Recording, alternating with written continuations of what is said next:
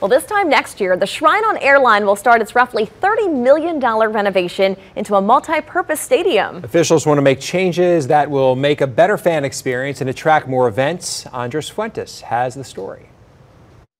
From a bird's eye view, the awkward football field placed in the former baseball stadium, the Shrine on Airline, is something parish and state officials want to work on. That is a diamond that has not been utilized and uh, it's important that the taxpayers uh, get what they pay for. Louisiana Stadium and Exposition District will put together $15 million, along with another $15 million coming from Jefferson Parish.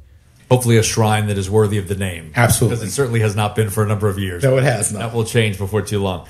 Right now, the LSED is working on mock ups for phase one of renovations, with ambitious plans to transform the former minor league baseball stadium into a multi purpose venue starting in late 2024. We have to go with a more rectangular feel and then uh, build out the sides and then update the you know, the elevators, the restrooms, and those things inside the facility. The hope is that the renovations will bring in events more consistently, as well as an economic boom along Airline Highway. Think about the sales taxes and other things that can come along with that.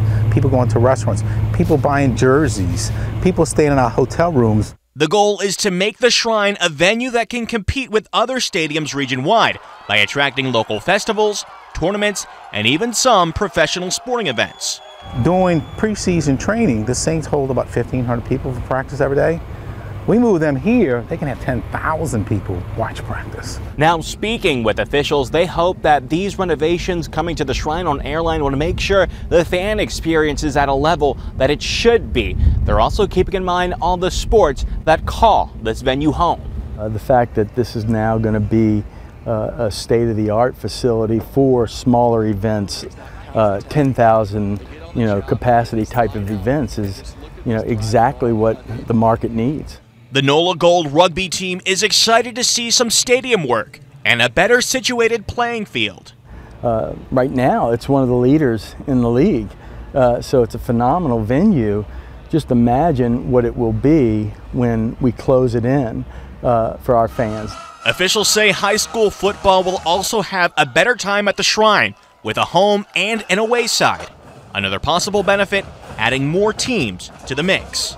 No, we've had conversations with, with uh, a, a, number of different uh, entities, USL Soccer League, USFL Football League.